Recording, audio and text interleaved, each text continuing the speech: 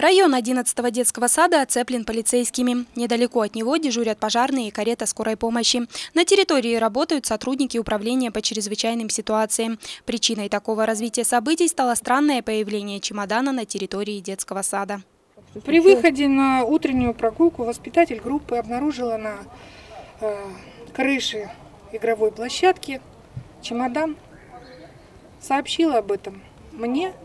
Мы сообщили в отдел полиции отработали согласно э, правил ЧС.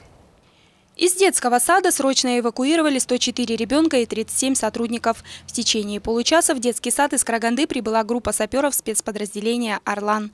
Вооружившись приборами, спасатели принялись обследовать территорию.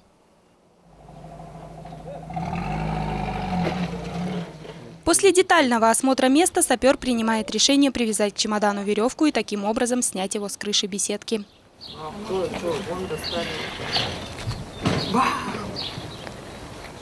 В чемодане ничего не оказалось, территория безопасна. Дети вместе со взрослыми стали возвращаться в свои группы. Малыши ничего и не поняли, для них эвакуация стала экскурсией в школу.